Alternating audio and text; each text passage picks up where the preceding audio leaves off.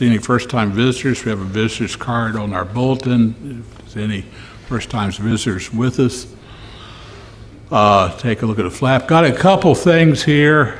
Uh, One, Marie Edelman, who is, um, of course, Anita's sister, wants to thank us. Uh, Pam sent some pictures down from the service, and uh, she called her and said she thanks everybody at church for all their support, and uh, just continue to pray for her. And of course, it's not over for her, right? You have the house, and you have the, you know, the will, and uh, you know this thing goes. Well, Paul, you know, right?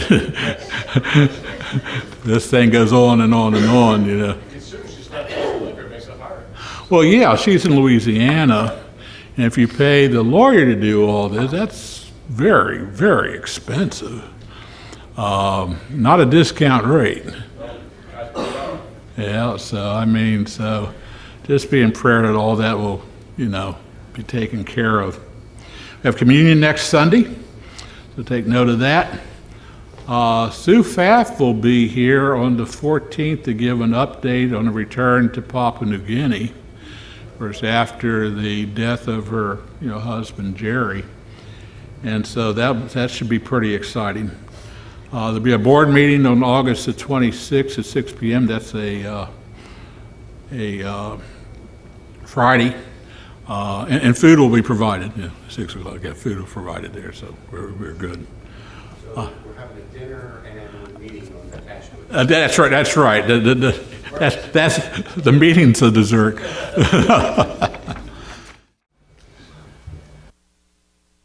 Fortunate. The scripture reading today is 1 John 2, uh, 3 through 11, if you wanted to follow. 1 John 2, verse 3. Hereby we know that we know him if we keep his commandments. He that saith, I know him, and keeps not his commandments, is a liar, and the truth is not in him. But whoso keeps his word, in him verily is the love of God perfected. Hereby we know that we are in him. He that saith he abides in him ought himself also to walk even as he walked. Brethren, I write no new commandment to you, but an old commandment which ye have heard from the beginning. The old commandment is the word which ye have heard from the beginning. Again, a new commandment I write unto you, which thing is true in him and in you, because the darkness is past, and the true light now shines.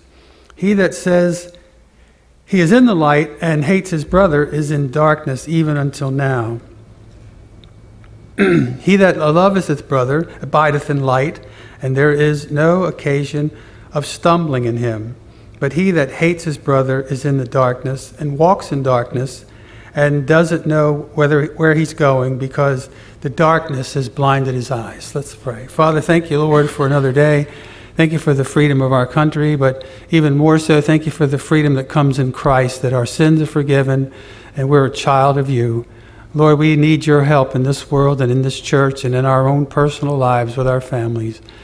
God, just help us to understand that you're here and to go to you first with whatever comes in our life and realize that you're the one that cares for us the most. You know us the most. You know our hearts. Lord, convict us of our sin and help us to turn in repentance. Lord, we believe. Help our unbelief, we pray. In Jesus' name, amen. All right, we continue our study in 1 Timothy chapter 6.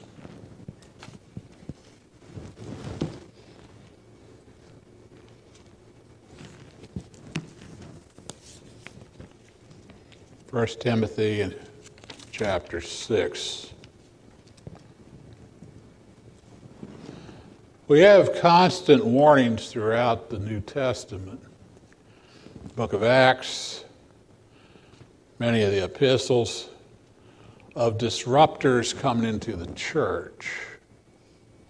One of the things that surprised me when I was a young Christian uh, and beginning ministry is the fact some of the people that were in the church almost were nastier than some of the people were outside. I said, wait a minute, what, what, what's going on here? Not everybody who comes to church is a spiritual believer. And Satan's going to put some of his uh, worst people uh, within the church to devour the flock. And Paul warns of that. He warns it in 1 Corinthians, he warns it in 2 Corinthians. Uh, the last epistles written in the scriptures, all of them were warning about that. Second Peter, uh, Jude, First, Second, and Third John, all those were warning about the fact that you have to stay on guard you know, and that's, that's one of the scenarios I had in the, the novel that I finished was the fact that this young man who finally came to Christ thought going to Christian college he would have no temptation, no problems. Ha! Does not work that way. There is no place in this world where you're totally secure from temptation or worldly people. There just isn't any. And so Paul is warning there, and Paul is warning Timothy. Now remember, I was thinking about this yesterday. Timothy is of a totally different nature than Paul. Paul was very direct, right? Very bold. Timothy was a little bit softer nature. Paul was trying to encourage him. Uh, you know, I've said this before and it's shocked people, but I, I really believe it. I think Paul would have been a lousy pastor. he was just too blunt. he was just too direct. He was a great evangelist, a great church planter. Exactly. But Timothy had more of the shepherd's heart, but he didn't have quite the strength or boldness. And so there's, there's this issues that uh, you know, each one of these men were dealing with. So Paul says, now Paul is stating, and I think one of the reasons why he states it this way is he's telling Timothy, when you need to be bold, right, you need to really step up and say things plainly and directly. Timothy probably tried to, you know, softly said, no, there's times where you have to say, okay, no, this is it. We're not allowing this here. Notice what he says here, 1 Timothy chapter 6 and verse 3. If anyone teaches otherwise, in other words, what I just taught you, and does not consent to the wholesome words, even the words of the Lord Jesus Christ, and to the doctrine which accords with godliness, he is proud, knowing nothing but is obsessed with disputes and arguments over words, from which comes envy, strife, reviling, evil suspicions, useless wranglings of men of corrupt minds, and destitute of the truth, who suppose that godliness is a means of gain. For such withdraw yourself. Now, you really didn't want to deal with these type of people within the body of Christ, right? But that's where reality, there's three things I think that shocked me when I first became a pastor. Number one, how much interface you had to do with the government. I just thought, you got to be kidding. I didn't go. They didn't teach me anything about that in seminary. All the details. Number three, handling different personalities. Number two, handling different personalities. And number three, always having to be on guard of someone coming in to bring error and, and, and disruption in the church. And it, it's just a constant. I just wanted to preach and teach and, you know, being uh, involved and growing the ministry, but the, all these struggles and impediments are there. And so, so Paul is warning Timothy that there's going to be dissenters in the church. Now, Paul gives Timothy the measuring stick of a true, true disciples. He says, Listen, a true disciple will accept the teachings that I'm teaching you. That's what he said. Listen, if it, listen, the Word of God's foundational, right? He said, oh, accept it. Now, this acceptance comes in, in, in three levels. Number one, you accept what's being taught. How much of what's being taught? Yeah, yeah, exactly. You can't pick and choose, right? Secondly, that you embrace what's being taught. Not only do you accept that it's being true, but you're going to live by it. And number three, you're going to be able to pass that on to other people, right? Because if others are not following that, you want to encourage them to do that. And, and remember, guarding the church is a responsibility not just the pastor and the board, but what? All of us, right? We, we, we, we watch out for those things that would come in and to disrupt. And so Paul gives, he said, listen, they have to accept what we're teaching here. Secondly, there are those, uh, there are many who profess believers who do not submit to biblical teaching. I mean, I've heard over the years people say, yeah, I know that's what it says, but I can't live that way. Well, wait a minute. First of all, God would not have commanded it unless you could obey it. And secondly, he doesn't give you an option, right?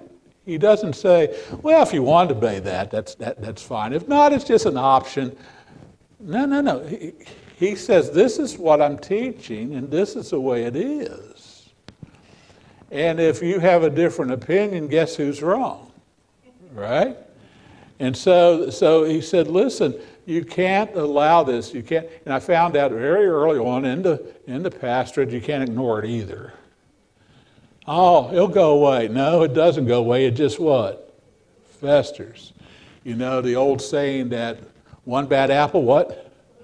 Runs the whole bush. So if you just leave it in there, right, it will make everything else rotten in there as well. And, uh, and the Lord loved to use the illustration about yeast. If you were just a little bit of yeast, that's what? Permeates everything. That's what sin does, just permeates everything. And so he's warning Timothy about these things. Now, I, I want you to notice very clearly here that Paul does not evaluate whether these dissenters are saved or not. Because there are carnal Christians that are saved but still aren't following and still aren't growing and things like that. So he's not saying that all these are unsaved. It doesn't say that, but he does have a whole list of things he does say about them.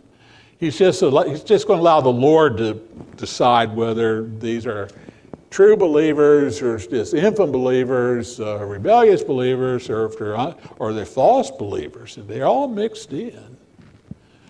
And what, by the way, we can't we can't make those judges say, "Oh, this guy can't be a Christian." Well, don't know. I mean, that's up to the Lord, right? But he's not surely obedient Christian, you know, if he's doing these things. And so he doesn't evaluate. There are those who are immature, who've grown little, and there are false brethren. As a matter of fact, if you take a look at the list in 2 Corinthians chapter 11, where he's listing all the problems he went through. You know, he's, he was beaten with rods three times. He was scourged five times. He was, he was stoned and left for dead once. He was, you know, he was a shipwreck. And he said, besides that, to care of the church. And then in verse 26, 11, 26, he says, in false brethren. I mean, there were people who got close to Paul, then he turned around and later on found out that they weren't real true believers. They did a lot of damage. Alexander the coppersmith, uh, uh, Philetus, uh, uh, uh, and uh, you know Demas. He said they're false brethren for whatever reason, profane, you know, proclaimed Christ, but really were not true believers. And so he mentions this here. He says there are all those. Now the dissenters, said, he says, they will not submit the wholesome words.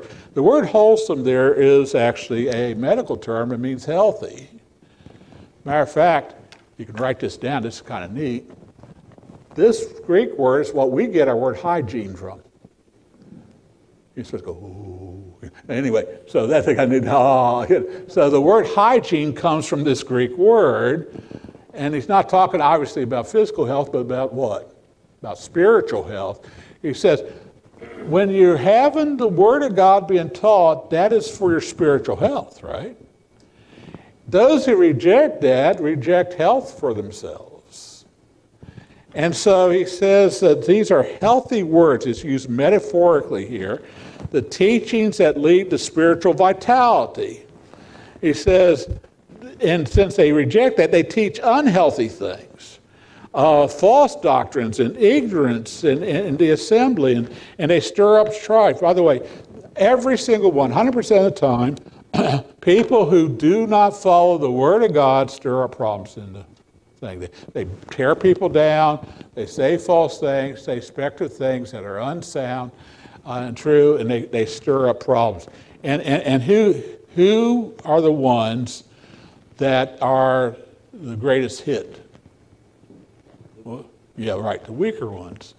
The ones who don't quite know, you know, what it is, uh, discerning and what this guy says sounds good, and, and the weaker ones are the ones who get trampled, don't they?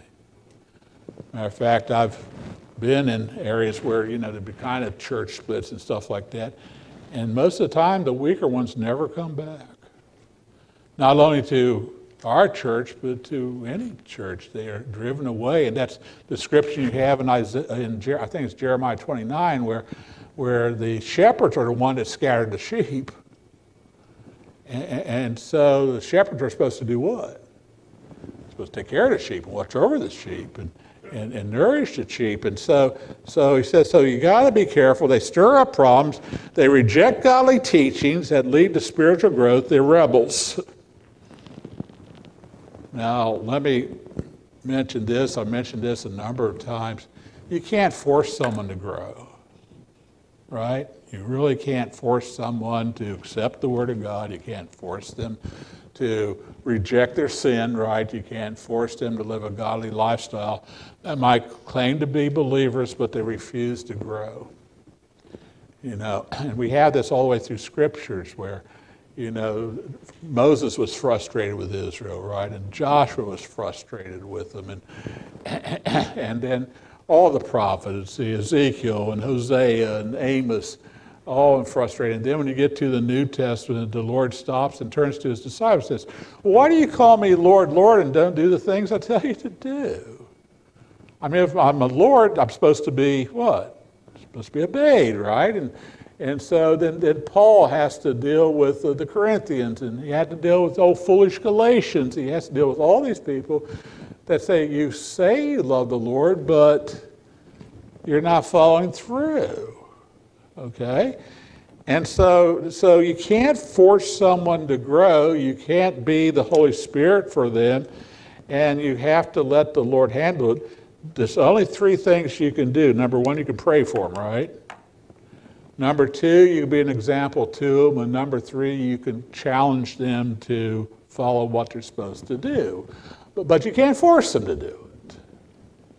Now, notice what he says those who do not follow sound doctrine. Now, doctrine sounds like a fancy technical term. All it means is teachings. The Greek word is didasco. All it means is, is, is to, to, to, be taught. True doctrine has three qualities. Number one, I want you to notice what it says. It first of all comes from the Lord Jesus Christ. All the Word of God comes down from Jesus Christ. It said, This is what the Lord has sanctioned. This is what the Lord is you know, trying to teach. And so it's from Jesus Christ. So when you read the Word of God, we come from Jesus Christ, given to the Holy Spirit. The Holy Spirit moved the prophets and the apostles to write these things down.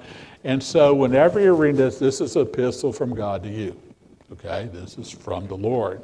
Secondly, not only is it from the Lord, secondly, the words lead to spiritual growth.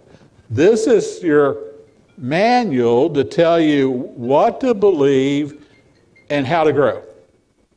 This is your manual. This is your owner's manual. You know, when, whenever you get a car that comes with an owner's manual with 10,000 things you can't do. I remember when we got a Honda one time, it says, don't go over big bumps. Uh, I mean, hello. you know, when you're driving on the road, you're going to hit some big bumps. I mean, what's that? Does that get rid of your warranty when you go over big bumps? You know.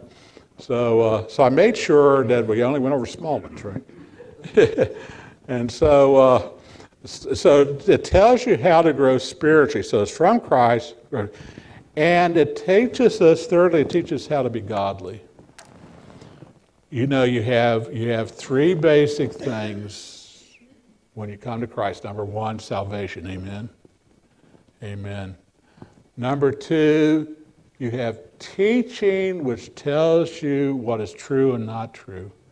And number three, you have teaching that tells you how to live godly, how to be moral, right? How, what your speech should be like, and what you know what your action should be like, and has to deal with kindness, and has to deal with righteousness, right, and holiness. Has to deal with all these things. And so the Word of God is complete for that. By the way, there's nothing missing. Now, it's a lot of things we'd like to know that we don't know, but everything we need to know is here, right? Everything we need to know. That's by the way, I think we have enough problems finding what we need to know than worrying about what we don't know and what hasn't been told to us. And so the doctrine is the sole guide for faith. By the way, I've, I've always been grateful that the Word of God is a book you can pick up and read and handle. It's not a, three, a 30 volume set of encyclopedias. He gave us just what we need to know. We don't have this enormous thing. No one can say that the Word of God is overwhelming. It's just the right size for us. And so everything we need to know is there. Now, he then he goes and he talks about the dissenters, the disputers. Uh, he says they're motivated by the flesh. They refuse to submit to any authority but their own. They refuse, they want to be in charge. And we have this, you know, for example, Jesus tells the parable about the king that goes away for a while, you know, to a land he's going to come back. And then the people send a note to, we're not going to have this man rule over us. They refuse, they want to be their own kings and their own bosses. And so they refuse to submit to the authority. Secondly, they love arguing and self promotion. And this really causes problems within the body of Christ. They love to argue, they love to dispute, they love to use rhetoric, they love, love to use philosophy, and they love to overwhelm. And that's self promoting. They think they have special knowledge. Have, have you ever run across people who think they have special knowledge? Think they, oh, you know, the Lord told me this. And, oh, really? I remember we had someone here a number of years ago. The Lord told me by Tuesday I'm going to get this government job. I said, oh, really? He did. So the next Sunday he said, to get the government job? Oh, no, but I'm going to get I said, wait, wait a minute. You said the Lord told you what? By Tuesday, you're going to get this job. Well, you didn't. Well, they just moved right on. You know, to me, I would be scared to death. Deuteronomy 18 says, listen, if a prophet says they're speaking for me, and they speak a prophecy and doesn't come true, they're what? False prophet. That's right. You, you, you, you get rid of them. you whack them off because, you know, that's, that's not, that's not from me. And unfortunately, there's a lot of people there's a lot of people out there who claim to be apostles or claim to be prophets or claim to be have some special revelation from God or some kind of discernment or some and, and they're they're out there. And they say all kinds of things and you say, uh, don't think so. I'm going to stay with the Word of God. But they, but they come into the church and they try to, to impose this stuff. Now, notice what he says about them. He says, first of all, they're prideful. Their number one trait is pride. The word here is high minded, translated in most scriptures. The little Greek word means they're wrapped around in smoke. I said, what? They're wrapped around in smoke. In other words, in other words, this conceit is the fact that they're just totally covered with with confusion and, and, and so hidden, you know, what they really are. They're covered with smoke. And so uh, we have a saying, right? It says, that guy's just blowing smoke. you know, you know there's, there's nothing to it. And that's exactly what prideful people do. They just blow smoke. There's nothing real in them. And so they're high minded, literally means uh, it blow, you know, wrapped in smoke, they're conceited. They think very highly of themselves. You know, have you met people who thought very highly of themselves? that person really thinks very highly of himself. you know, other people don't think so highly of that person, but, but they really think highly of themselves. Uh, they're too arrogant to be humbled. Uh, they uh, have a foundation of, of sin. As a matter of fact, pride is a foundation of just about all sin. And he says, so these guys are prideful. Secondly, they don't know anything. Uh, we, you know, we talk about people are know nothings. Do a lot of talking, but they really don't know anything. And so these know nothings, they understand nothing, they really think. Matter of fact, we have a saying also a little bit of knowledge is what? Dangerous thing. And some they have a little bit of scripture, but then they think they know everything and they spout all kinds of things and, in confusion. You go, huh? What is this guy talking about? You know, and yet they, they, they say it as if it was absolutely true, certain, and you say, this guy doesn't know anything. He's a no-no. They don't understand anything. Then he says, they're obsessed with disputes and arguments. One of the things, you know, we're going to uh, see at the end of the chapter where he said, listen, just avoid foolish strife. You can't talk sense to these guys. You ever try to argue with occultists? You know, it's just, you know, you can't, they don't listen to reason. They won't listen. They won't stop to look at evidence. And uh, that's why in the political world, you have a lot of shouting, a lot of name calling, stuff like that, but they won't sit down and go through evidence because they can't. They can't, they, they can't talk on that level because they don't have it. And so this type of person obsessed with arguing, uh, matter of fact, the literal word here means they, they're morbidly, morbidly afflicted with striving and argument over words. Literally, word battles. That's a, that, it's, this word is made up of two Greek words, word battles. and they want to get you in a what? An argument, right? They want to get, they want, and they're just spouting off and trying to promote, you know, all, all the stuff that they think and everything else, and they're the authority, and no one else has seen this insight before. And, and uh, he said, said, you know, that's what these guys are. And they come into church and try to get people on their side, and, and they actually feel justified if they can get a lot of people to follow them, right?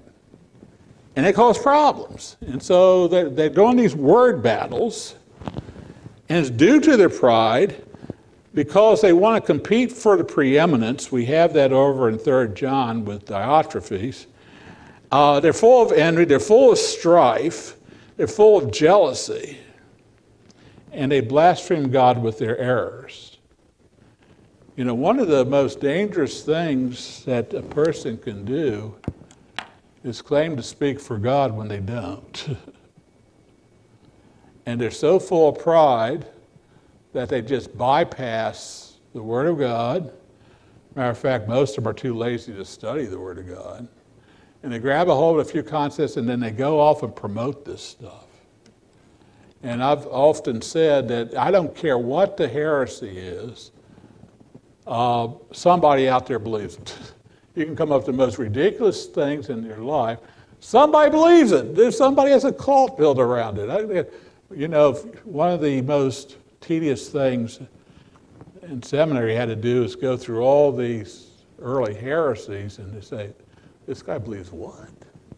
And just going through these writings of, you know, of these uh, heretics, the Montanus, the Docetus, the Pelagians, the Sabellians. Forget you don't need to know any of those, you know. I have a book that is just a summary of these heresies, and it's 800 pages long, and that's just the summary, you know. A brief, concise history of it. Oh my, you know. I'd like to see the exhaustive, you know, history of these things. But they're all, there's, I don't care what the heresy is, somebody out there believes it. And then they arouse evil suspicions. And, this, and I, this, is, this is one of the most devastating parts, is the fact they cause the believers to doubt. And they sow doubt and confusion because most people go to church, they're not seminarians. They're not, they're not studying the Word of God, you know, based upon an analytical, diacritical way. They, they, they, that's not where we live. And they had these guys come up with this, this, this absolute nonsense. And, and when they come up with this absolute nonsense, and then they get people to doubt. And, uh, you know, the Lord says, you better be careful if you offend one of these little ones that believe in me. It'd be better if you'd never been born, that you put a millstone around your neck and jump into the sea because, you know, uh, you, you, you caused them to go off. And, and the more you cause to go off, the deeper your sin and the deeper your judgment. But they cause, it says here, literally evil suspicions. And, and one of the reasons they do this is because they come across confident, right? And arrogant and bold, and this is the absolute truth, and have all these reasons why they believe this. And it's all made up in a bunch of nonsense. You know, there's a saying I like to, to continually use, you know, you know, bad premises lead to wrong conclusions. if you start out wrong, you're going to what? End up wrong. I remember, uh, remember, no, you don't. You're not, you're not young enough. I mean, old enough.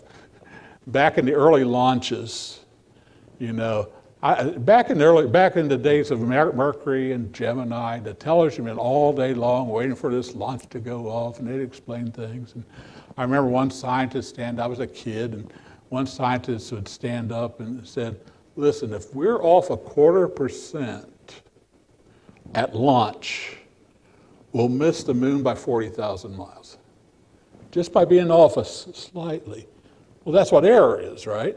If you're off just a little bit, it continues to what? Veer off course. And so they are corrupted. They sow doubt about sound teaching. And by the way, um, you can't argue with these people. It's best to say, well, I don't know the stuff you're talking about. I know what I believe from Scripture, and try to avoid them. They try to corner you. They're obsessed with that. The more people they can get to believe what they're saying, the more puffed up they are, see. And so they seek to do this. Uh, they are corrupt. They love disputes. They have these vain philosophy of attainment. And notice what it says that they think that the gospel is a way to make gain, to get rich. If they get a lot of people supporting them and everything else, now, let me tell you a story. This was told to me years ago. This is in, in, the, in the black church area where this uh, godly pastor, he drove up in a car, a late model car, at this conference, and some of his fellow seminarians went to school drove up with chauffeured limousines. And they got out and they came over and said, What are you doing? I said, What do you mean? He says, You know, you're not doing this right. And they're telling him how he could, you know, get rich through the gospel. He said, Well, I thought our goal was to serve people in the gospel and everything else. But to those men, it was a matter of, you know, I'm the, I'm, I'm the king, you know, I'm the thing, you know, you need to support the, you need to support the man of God. And, and they, they had Richard, and I see it over again. I remember one time where he had a funeral rental, just several years ago, and they asked, "Well, where's the pastor's chair?" So I mean, I just sit in a normal chair. Oh, oh no, no, special chair, a throne. This is the pastor. And, then my wife was told one time we had a meeting, there had to be a special chair for the first lady. You know, uh, a special place. You know. You know, and one time we had a one time we had a repairman come over, the uh, old uh, fuse box lit on fire, which wasn't a good idea, had aluminum feet in, you know. And uh, so he was out changing, and he said, you're a pastor? I said, yeah. Said, said, I just came from a pastor's house. He has, uh, I think it's 12 acres. He has an airstrip. He has a, everything else. It is. I said, oh, no, no, no, that's, that's not what we do. so, matter of fact, I even once, listen to this, I even, we were passing out literature for vacation Bible school to the neighborhood. I introduced myself to the pastor. He says, oh, no, no, pastors don't do that. You, you, let, you let the people go out there. Pastors don't do that. God. No, no, what are you talking about? We're serving what? Yeah, together, right? And so we get, he said, these people think that the gospel is a way to get rich. And so they seek that. He said, now, now I notice what, I notice what he says, how he ends. He says, I want you to avoid such people. You need to give them a wide berth. And if they cause trouble, you know, 1 Thessalonians chapter 3, you have to deal with them. Can't allow that to happen. And if people coming up there trying to give you some kind of cultish thing, avoid them. And here's what they always do. I mean, almost all the time. We're the only ones that have the truth. We have this, you believe this, and this, and this, have the truth. And you can't get to heaven unless you believe the way we do. Show me that in Scripture. He said, I want you to avoid them. Matter of fact, it says, he told the Romans the same thing. Romans chapter 6, he said, listen, mark those who cause problems and avoid them. and so we need to be on guard. You need to know what you believe, right? You need to know why you believe it, and you need to stand firm. Uh, not all your questions are going to be answered.